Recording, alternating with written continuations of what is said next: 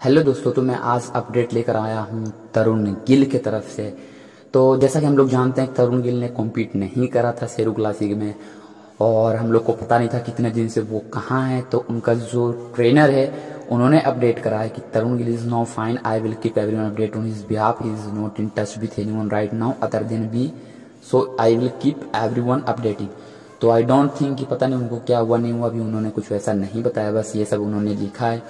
उनका ट्रेनर ने तो हम लोग इंतज़ार करेंगे कि वो खुद आकर क्या बताते हैं कि उनको क्या हुआ था इन द पास्ट तो लेट सी बट ये जो हमारा अपडेट था, वो था तरुण गिल की तरफ़ से. तो आई होप आपको वीडियो पसंद आया और यदि वीडियो पसंद आया तो हमारे चैनल को सब्सक्राइब करें, क्योंकि आपको फिटनेस का सारा अपडेट सबसे पहले हमारे चैनल सिंह फिटनेस पे आपको मिलेगा। शुक्रिया।